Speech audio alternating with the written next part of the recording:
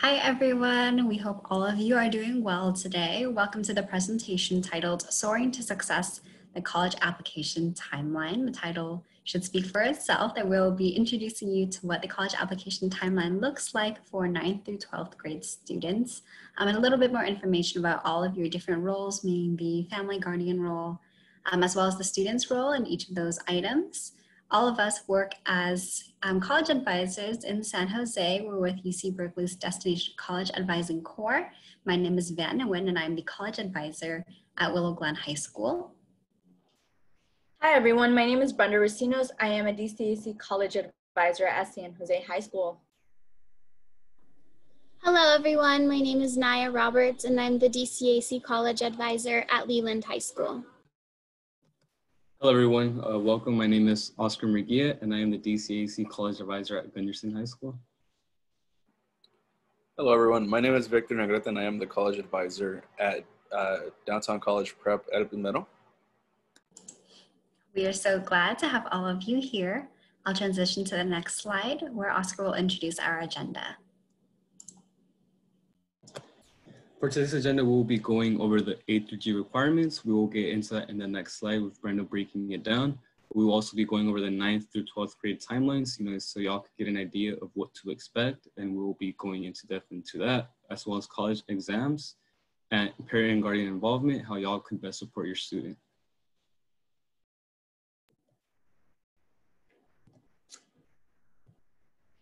Hi everyone, so we're gonna go ahead and review the A through G requirements. So each letter A through G represents seven academic subjects that students are required to take to be minimally eligible for admissions at the University of California and also California State University system. Keep in mind that the A through G requirements are a sequence of high school classes that students must fulfill with a C or better. So let's go ahead and break them down.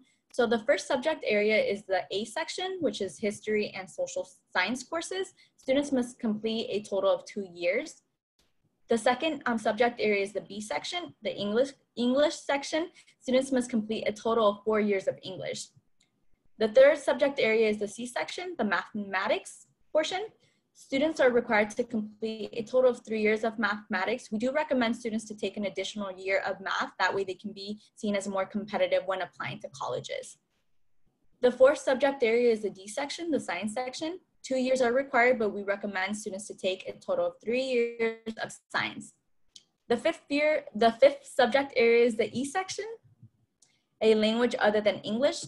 Students must complete a total of two years of a language other than English. Keep in mind that two years of a language other than English must be the same language. So it can be like Spanish 1, 2, Spanish 3, 4, that would complete it, or Portuguese 1, 2, Portuguese 3, 4. And then we do recommend students to take an additional year of a language other than English. The sixth subject area is the F section, the visual and performing arts. Students must complete one year of a visual and performing arts course. And the last subject area is the D sec G section, the college prep elective. Students must complete one year of a college prep elective course. And as you can see, we have a little flyer here on the right that lists all the subject areas and also how many years are required. So we'll be going on to the ninth and 12th grade timelines, kind of breaking down what a student, parent, and both parent, student, guardians uh, role should be doing into these, uh, each timeline, each grade. It's gonna be a little different, but we'll be going into those. So for ninth grade year, so definitely uh, what students should be, you know, you start thinking of, I know that they're in this, you know, they're straight out of middle school.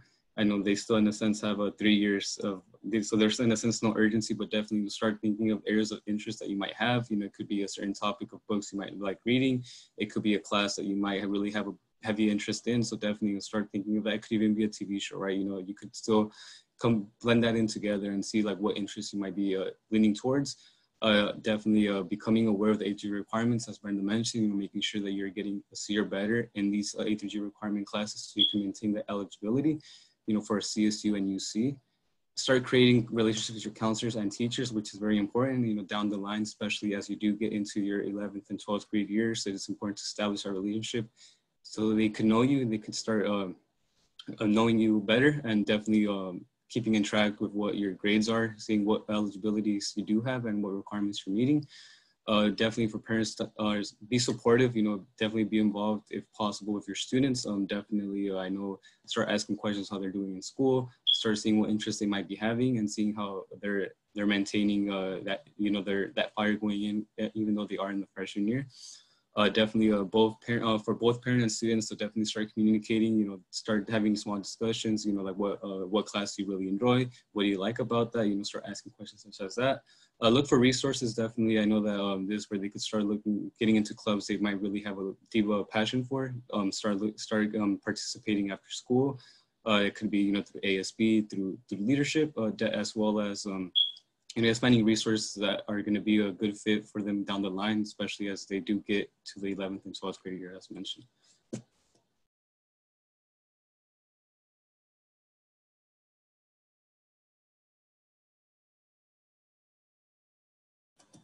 For the 10th grade, we really want students to focus on challenging their interests and getting involved in extracurricular activities. So participating in sports and getting involved in different clubs on campus um, will add to their college resume when they are ready to apply. We want students to stay on track for graduation, so making sure that they're taking A through G courses and maintaining C's or better in all of their classes. We want students to develop relationships with teachers and counselors. This is important for students who will need letters of recommendation um, once they're applying to colleges, but also for special selective programs um, that they can participate in throughout high school. For the parent, we want you to be supportive of your student, proactive and engaged. So making sure that if you see your student struggling, reach out to their teachers and counselors to find out the best ways that you can support them. Um, and by participating in presentations like this, you're staying engaged and making sure you're up to date on the best information to help your student through high school. We want the student and the parent to begin setting clear expectations. So making sure that there are there's a clear plan for after high school and making sure that parents are finding ways to help support students um, through this plan and communicating interests and explore together. So at this point students may not know what they would like to do or study um, after high school but asking questions can help the parent find different activities um, that the student may be interested in that would help them discover what they would like to do and explore together. So this could be going on college visits or um, participating in online programs to help the student understand what they would like to do um, for their future. In the 11th grade, we want students to stay on track for graduation. So again, maintaining C's or better in all of their courses um, and taking A through G eligible, eligible classes. For the student in the 11th grade, it's also important that if possible, they begin challenging themselves by taking AP and honors classes. This will help them stay competitively eligible for colleges and universities. We want students to stay involved in the sports and extracurricular activities. This will continue adding to their college resume. Um, we want them to create a college list. So just begin thinking about schools that you may like to attend, maybe based on location or major. Um, and it's also a good time for students to start searching and applying for scholarships. So everyone is always concerned about how they will pay for college and who doesn't like free money. This is a great time for students to begin looking at different scholarships that they can apply to that will help them pay for their degree later on. Um, for the parents, we want you to again stay supportive and engaged. Um, some major questions that you could be asking your student are what subjects do you enjoy learning about? And are you interested, what are you interested in doing after high school? Um, these can help students begin thinking of maybe not college, but also trade programs, or just thinking of a way that they would be able to support themselves um, after they earn their high school diploma. For the student and the parent, again, we want you to be setting clear goals for attending college and making plans for after high school graduation. Um, it's very important for students and parents to begin having conversations about how the student will pay for college. Um, we don't want to wait until the student has been accepted and admitted to their university of choice for them to find out that, you know, it may not be affordable. So there's ways that we can begin having this conversation now to make sure that the school that the student chooses will fit both for the family and the student.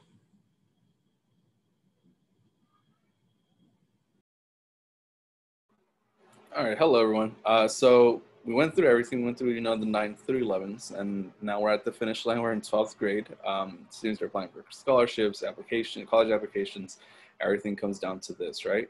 So uh, for the student, we have three, um, and, you know, we're going to kind of go through them and, and uh, discuss them. So the first one being stay on track for graduation. So this is a big, big, big piece of uh, senior year. A lot of students, um, you know, they get senioritis, they get a little lazy during their senior year. They're like, oh, you know, senior year, it's okay. I can go ahead and relax. And while that is true, they should be relaxing and, and taking it easy.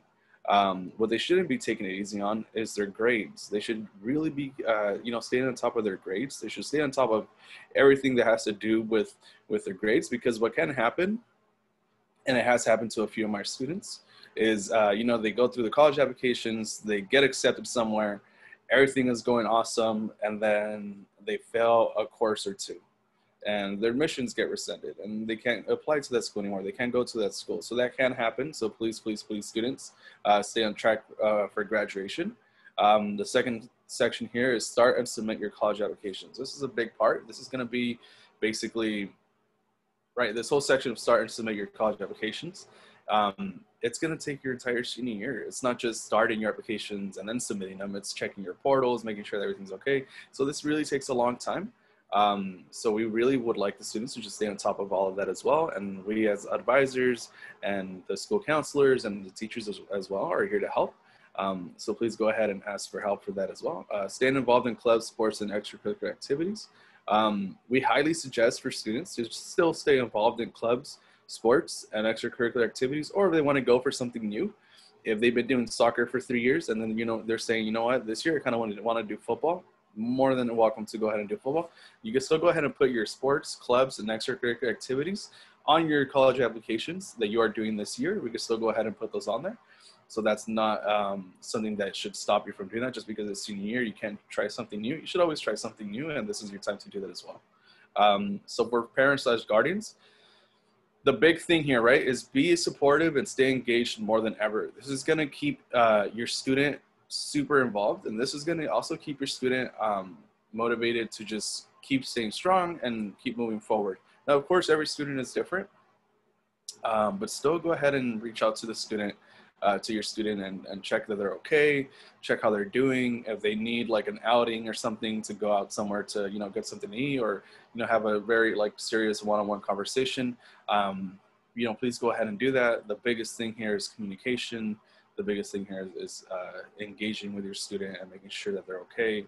Um, and, you know, that they're not going through a very traumatic experience right now and things like that. Okay. Um, so questions that you should be asking have you started your college slash financial aid application yet? So, uh, you know, the one that comes after that is, do you need the tax forms? Yes, you do need the tax forms. Not every student is different. Every situation is different. Um, so I'm not going to get super into that. Um, but still, the tax forms, because it is 2020, it would be the 2019 year uh, tax forms that is, you know, for FAFSA for the DREAM Act. But again, every student is different. So please go ahead and speak with your advisor, uh, your school's advisor, or your college counselor uh, to check in exactly what are the exact uh, requirements that you need as a parent and that um, your, your student needs as well.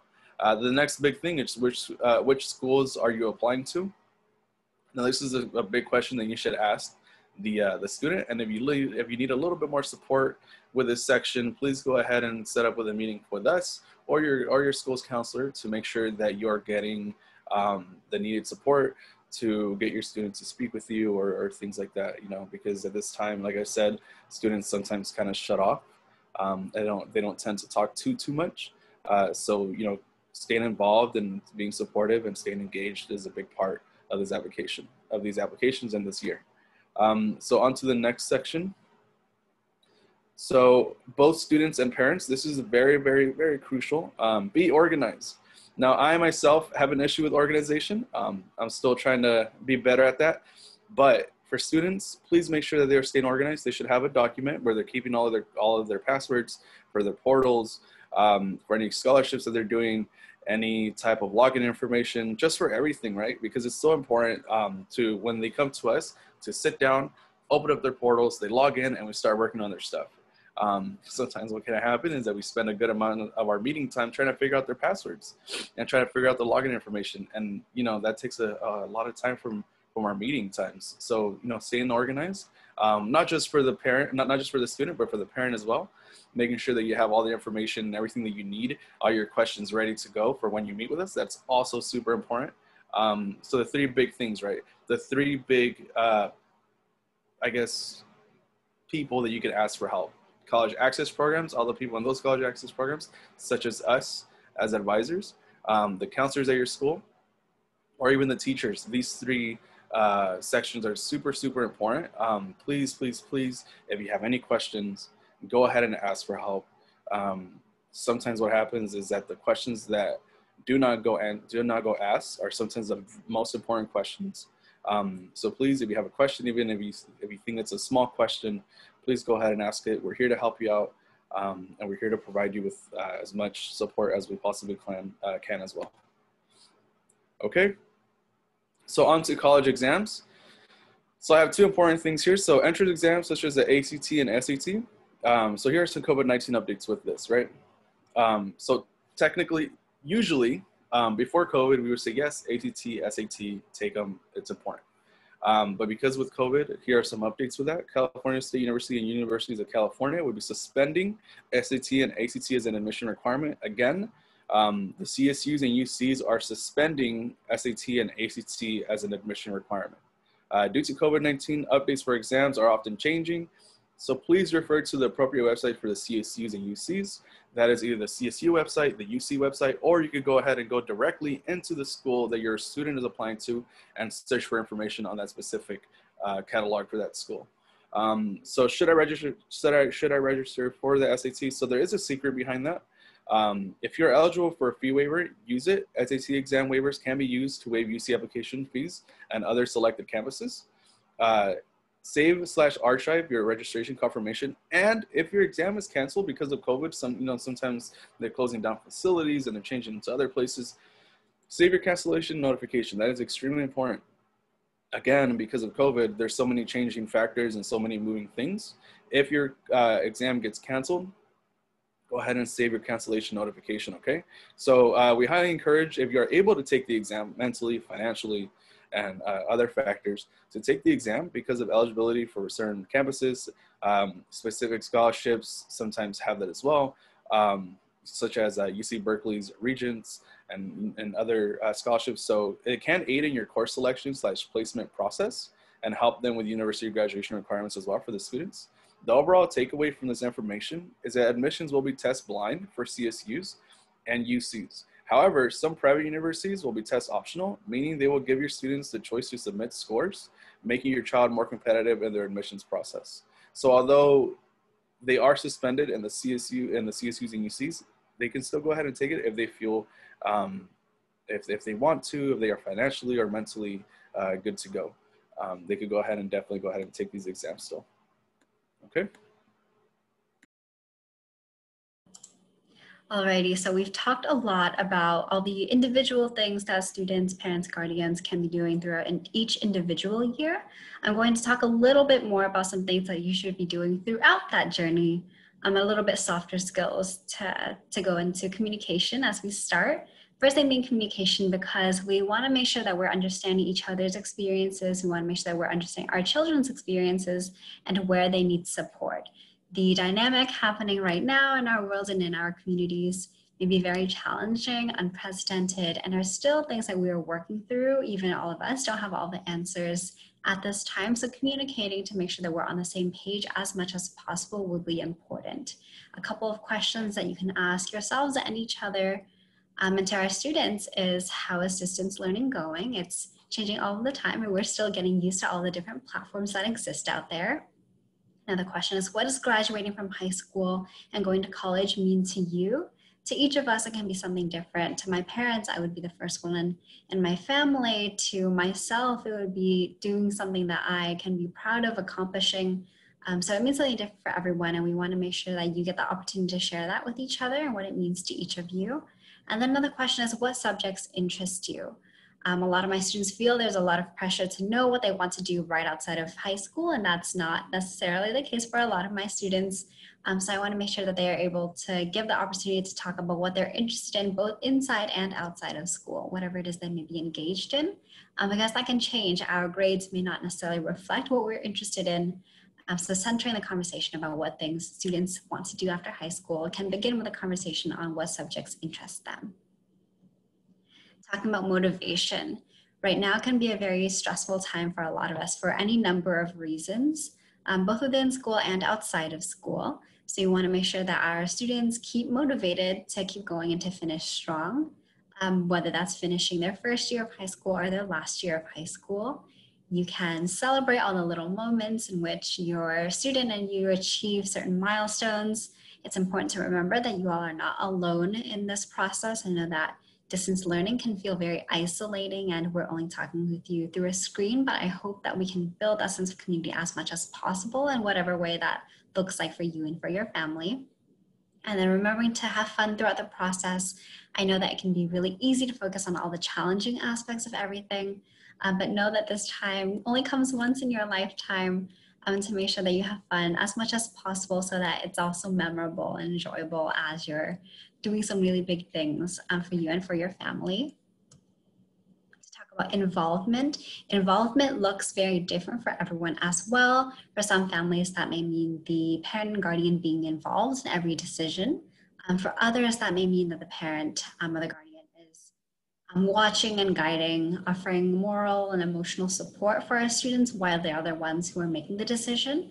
Um, I want to make sure that you all are able to have that conversation so that both you and your student are on the same page about what involvement looks like. What would you like to see from involvement and what would your child like to see? Are they the same? And if not, what are ways that you all can resolve that? What are boundaries that you need to draw? Um, regarding involvement, I want to celebrate that you all being present today is a really great step towards involvement. Um, I know that taking time out of your schedule to listen to a presentation like this um, is something that can be challenging for some folks, so we want to commend you for that. And lastly, self-reflection. Um, especially during our times right now, and in general, the process can be new to some of us, and even if it isn't new, we can still feel scared, nervous, confused about what the process looks like with all of the different changing dynamics. So I want to remind you that your feelings are valid. Um, in terms of navigating it, there are some guiding questions for you to be able to talk about what this experience has been like for you and for your child. Um, some questions include what is best, what is the best solution and situation for you and your child? How do you feel and why do you feel this way? That can help you to pinpoint some things that you may need to begin to change, some action items that you may have in mind for what's next. Um, and in general, to think about what this journey means for you and how you can navigate it in a way that works for you and your, for your family. Alrighty, everyone. Thank you so much for joining us today. You are one step closer to your student success. So the next slide, we're gonna be able to provide our contact information. So if you do have any questions, feel free to connect with us via email or phone. Our DCAC email is dcac at berkeley.edu. Our phone number is 510-664-7276. If you would like to check out our Un uh, University of California Berkeley Destination College Advising Corps website, feel free to scan the QR code on the bottom right of this slide. And once again, thank you for tuning in and joining us. Have a rest of have a great rest of your day today. Thank you.